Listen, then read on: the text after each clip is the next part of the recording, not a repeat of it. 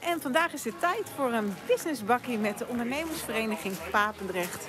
En daar praat ik met Peter Degen. Hey Peter. Leuk jou weer te zien. Ja, eindelijk mag het weer hè? Eindelijk. Eindelijk weer bij elkaar.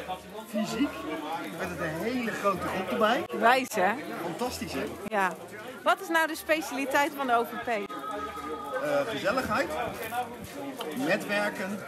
En eh, al, eigenlijk altijd wel een activiteit met eten. Kijk, Het bordje is bijna leeg. goed zo.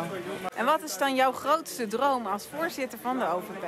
Twee dromen eigenlijk. Mag dat ook? Ja hoor. Mijn ene droom is dat de vereniging mag groeien en niet om het groeien, maar vooral omdat ondernemers het goed met elkaar kunnen vinden.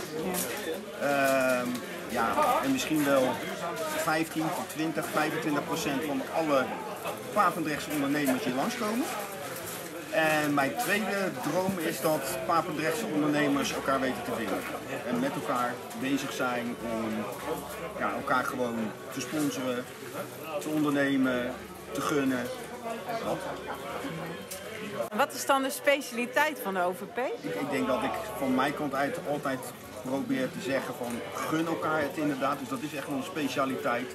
En het aardige is dat we vanuit onze website ook iedereen zichzelf zou kunnen vinden. Dus op het moment dat je iemand zoekt die moet schilderen, nou, dan put je dat gewoon op de website in.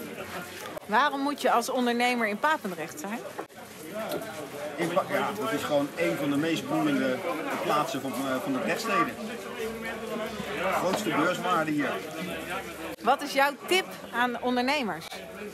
Mijn tip aan de ondernemers, de, de dames die hier naast mij staan, maar ook alle andere ondernemers die hier aanwezig zijn, eh, is jezelf te blijven, maar wel zorgen voor een droom om na te leven. En je niet af te laten leiden door elk wisselwoordje wat je tegenkomt. Trotse voorzitter van de ondernemersvereniging. Dankjewel Peter. Graag gedaan.